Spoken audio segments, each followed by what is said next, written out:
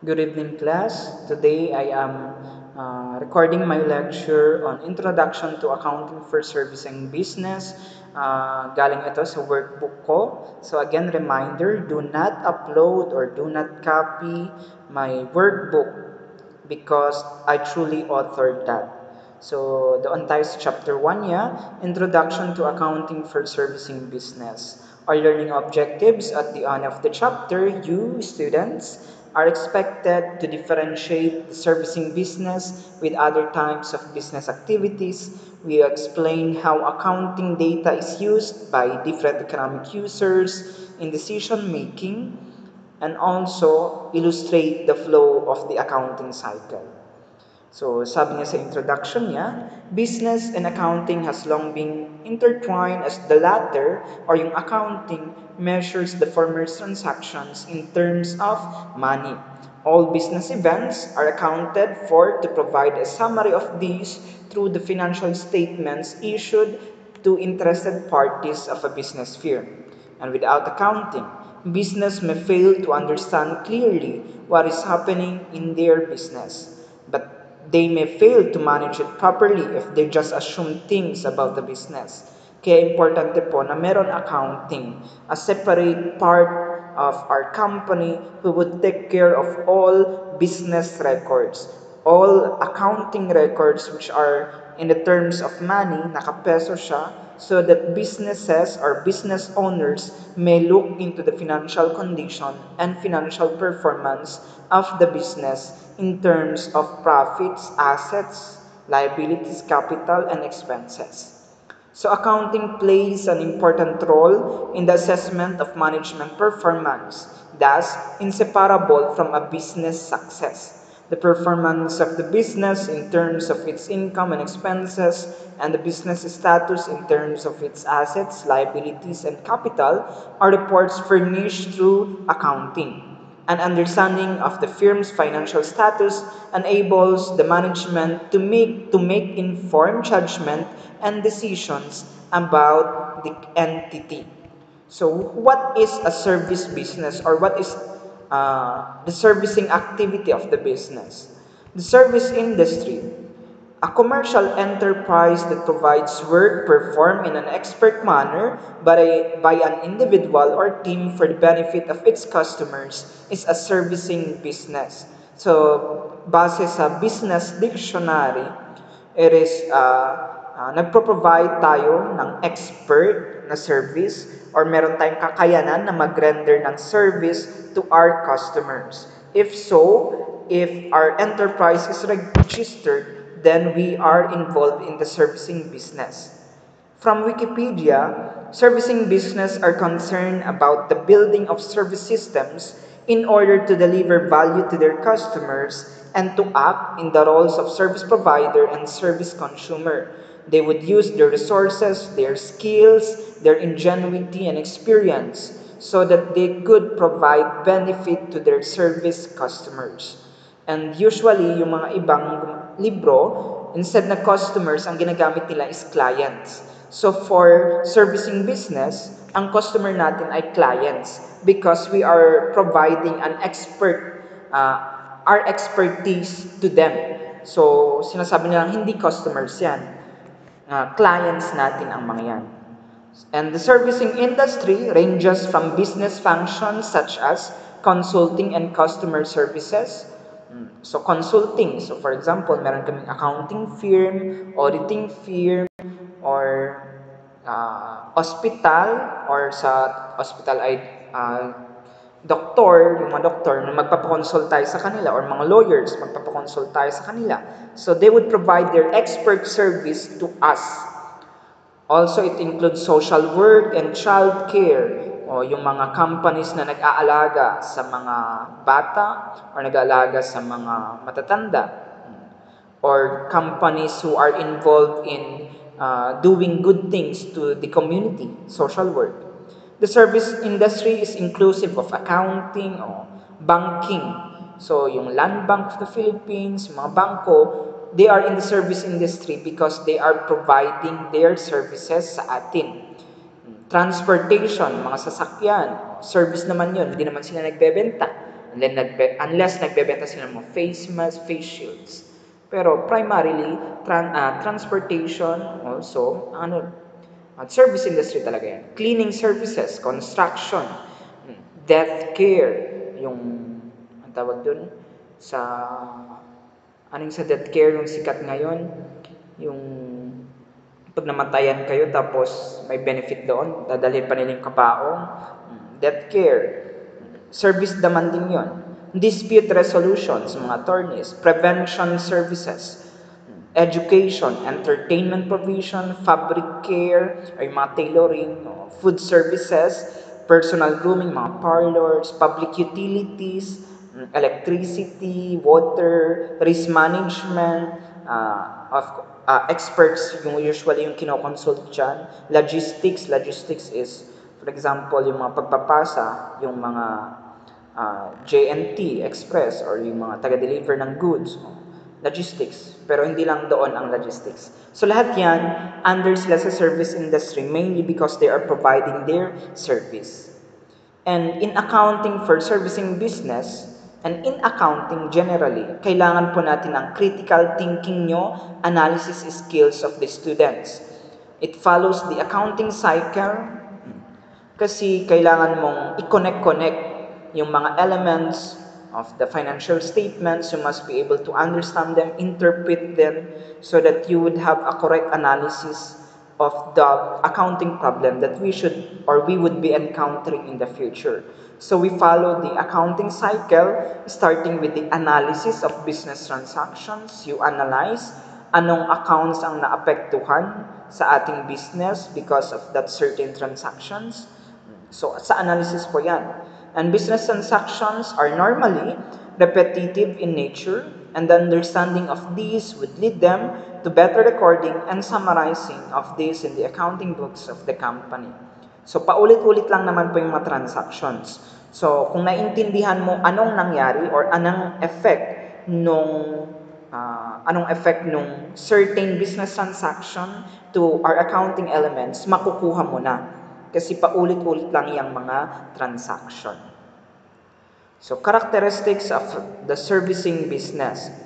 So, the servicing business is one type of activities because uh, ang activities of a business, it could be servicing business, provision of service, merchandising business, that is, binibili nila yung binebenta nila, and third, manufacturing business na ginagawa nila yung binebenta nila. So, sa servicing business, it is a business and uh, one could engage in. Others would be involved in buying and selling of goods or in the manufacturing of products. And service business significantly differs. Uh, malaki ang pagkakaiba nila with the other two because of the absence of physical goods being given to customers. So for example, nagbibigay ka ng service. Wala ka namang pinapakitang produkto. Wala ka namang ibibigay na produkto sa kanya. Hindi naman nakikita. So for example, or oh, let's say nakikita mo na ginagawa yung service, hindi naman mahawakan yung ginagawa niya. So, intangible kasi yung service. Unlike yung goods or yung mga binebenta na tangible, nakikita mo na, hawakan mo na, amoy mo, lahat yon. They are not manufactured, oh, wala pong manufacturing process, and hindi po sila nai-stock. Oh, alam, kung parlor kayo, eh, o, ipunin nyo yung mga service nyo or service nyo o kumbaga parang paano kaya i-stock? Paano mo i-stock yung service nyo? Or kami na teacher, paano namin i-stock? Pwede sigurong ano, uh, mag-record kami ng videos tapos ibibigay lang namin sa inyo. O, naka-stock, at least naka-stock. Pero yung most servicing business or servicing, yung service kasi hindi na i-stock and they are not transported. Yung service, yung transportation is a service, pero yung service hindi transport. They are produced and consumed simultaneously. Ginagawa at nako-consume mo simultaneously. So for example, nagpapagupit, oh, habang nag ginugupit ka, oh, the service is being produced and at the same time, nako-consume mo din na kliyente. nararanasan mo, na-experience mo yung service na nila. So, kinokonsume mo na din siya.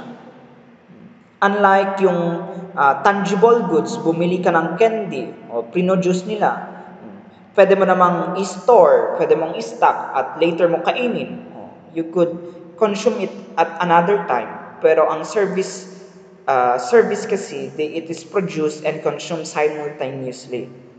And services then demonstrates perishability. Services are provided to probable customers, but if they are not availed of in a specific period of time, they perish. So for example, uh, ano ba?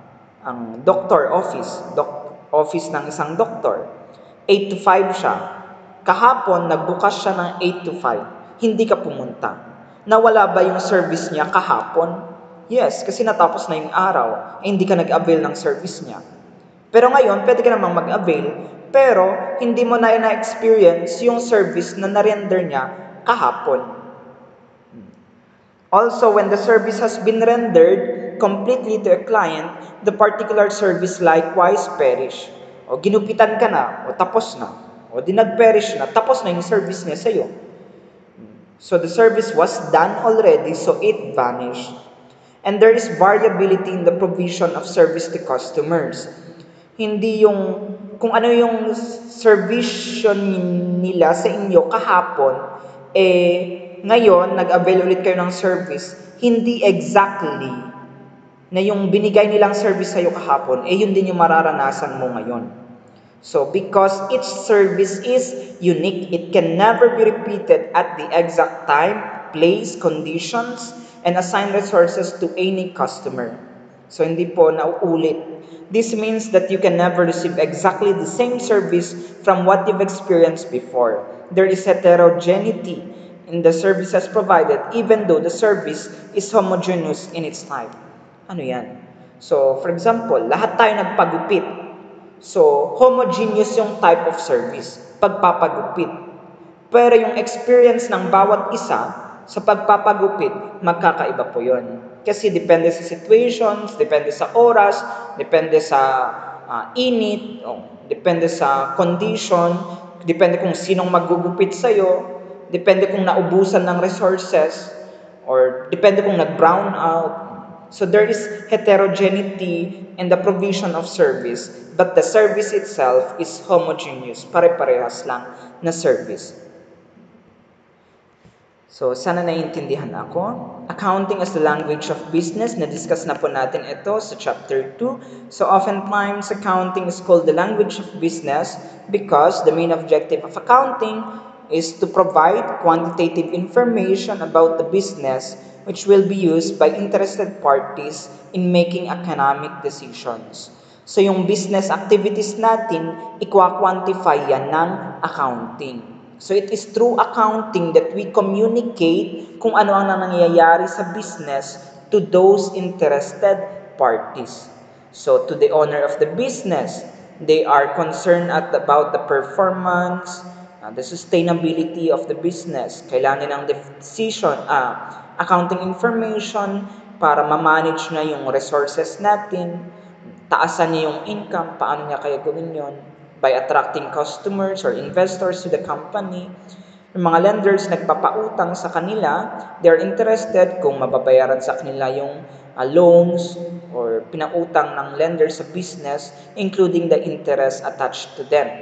Suppliers and other trade creditors are looking for the sustenance of their relationship kung magpapatuloy ba na mag-supply sila ng pangangailangan ng business and at the same time yung mga short-term credit nila sa ng business sa kanila eh mababayaran. Tayo naman, ako na empleyado or kayo in the future would become employees, you would be concerned on the sustainability of your employment. Kung patuloy ka ba sorry. Kung patuloy ka ba na i-employ ng business, kaya ka ba nilang sahuran, magbibigay ng retirement pay mo, ng additional benefits, at kung magtre-training ka, ay bibigyan ka ba ng budget for those? Malalaman mo yan through the financial statements. For the government, uh, for them, for statistics purposes, for the determination of your taxes, and to check kung nagko-comply ka sa government rules and regulations. Next, we have the accounting cycle. So nakikita mo yung figure 1 po na yan, the accounting cycle. Nakalagay dyan 9 steps. Pero uh, if given the chance na i-edit ko itong book ko ulit, mababawasan yung 9 steps na yan. But for now, we will stick to that. So the first step would be analyzing source documents because it is through the source documents na makikita mo kung anong nangyari sa business natin or anong transaction yung i-record natin. For example, nakatanggap tayo ng electricity bill. O, anong transaction ang nangyari? Na-consume tayo ng electricity. Paano mo malalaman kung magkano i-record mo kung walang source document? After checking the source document, you journalize the transactions in the journal book So the journal book is the book of original entry. That's the start ng debit and credit mo. And then you post them to the ledger accounts. So each specific account has, has its own ledger. So ang purpose ng ledger, isa-summarize niya. For example, yung cash. Every day may cash transactions tayo. Sa ledger, isa-summarize niya. Makukuha mo yung ending balance of the cash. And then you would prepare a trial balance. Oh, so, ang purpose lang ng trial balance is to check kung equal yung debits at yung credit. So, on the left side, the debit, the right side, the credit, equal ba yung total debits and total credits? Kaya po, trial balance. Itratry niyang i-balance kung balance or equal yung amounts natin. After that, you journalize and post adjusting entries. So, meron din tayong adjustments na pre-prepare from our uh, original journal entries, i-adjust natin ang mga yon to reflect the changes in the uh, accounts. And then you prepare the adjusted trial balance.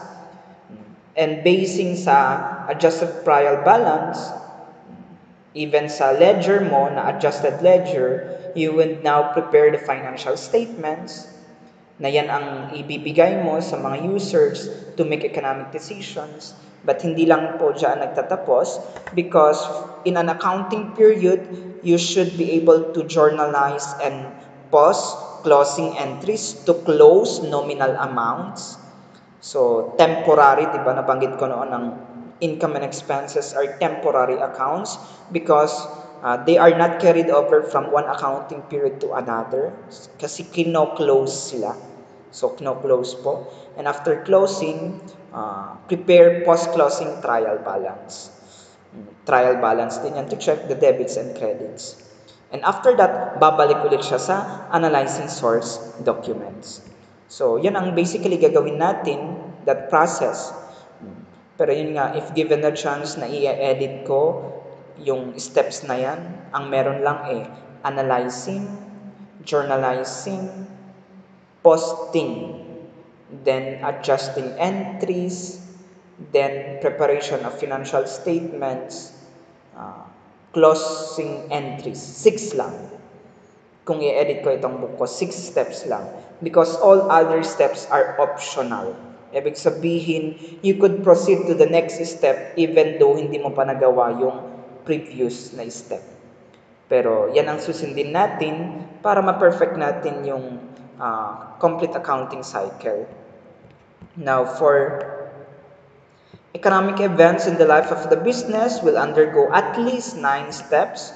The accounting cycle shows the step-by-step -step sequences of the processes that these must pass through. So, cycle siya because it will be accomplished during the business accounting period, which is usually one year, but will be repeated in the next accounting period over and over again until the termination of the business life. So, cycle siya. So, pabilog. So, paulit-ulit na gagawin natin in every accounting period. But other authors would prescribe more than nine steps of the accounting cycle, including optional processes like the preparation of worksheet, kung may nakita kang accounting students na merong ang laki-laki ng yellow, yellow paper na may linya-linya, yun yung worksheet. Malaki yon.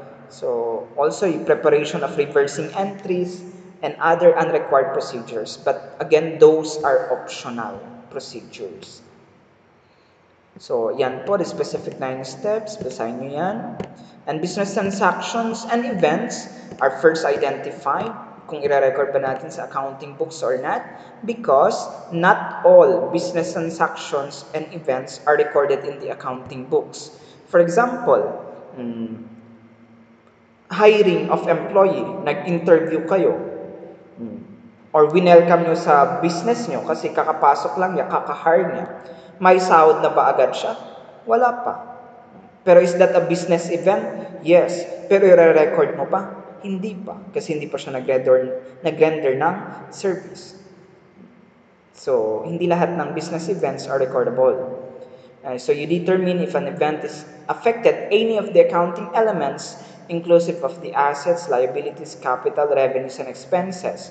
So, if that business transaction or event affects any of those elements, then they are recordable.